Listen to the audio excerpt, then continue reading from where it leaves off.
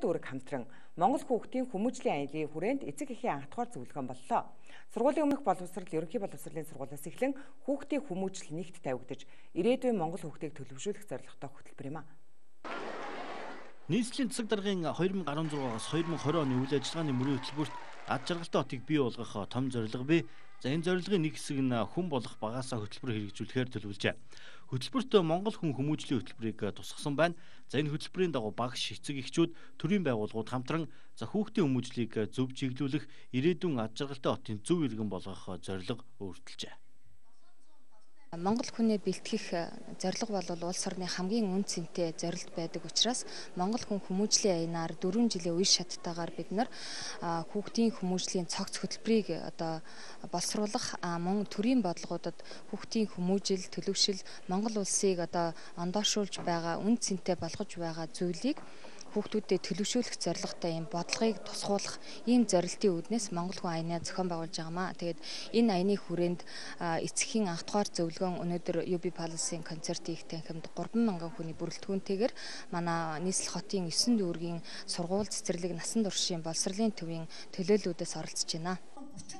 За даяарчлыг дагаад хүүхдийн мэдээлэл олж авах их үүсвэрүүд нэмэгдэж байгаа.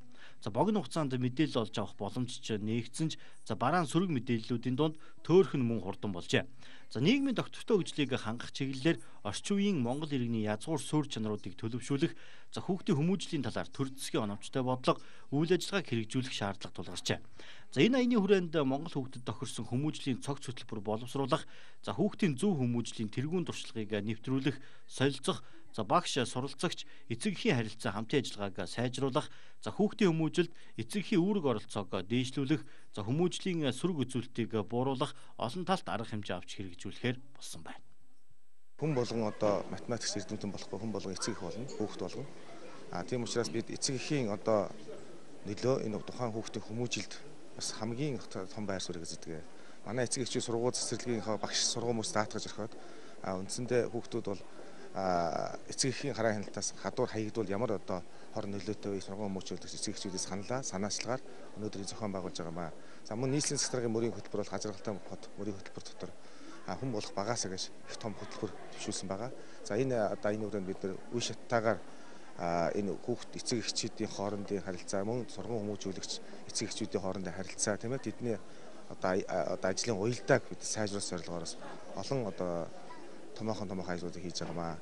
Зөвхөн өнөөдрийн зөвлөгөөний хийгээд ингээд зогсохгүйгээр бид цаашдаа за айл бүр, эрэх өрх бүр хамт олон бүрт энэ одоо хүмүүжлийн аянг өрнүүлэхээр төлөвлөж байгаа. За Монгол хүн хүмүүжлийн аян 4 жилийн хугацаанд хэрэгжин зөв төлөвшил, зөв мэдлэг, зөв амьдралын хэм маягийг хүүхдүүдэд суулгах нь аяны гол зүйл болж байна. Улсынхаа хэтийн хөгжлийг нуруундаа үрч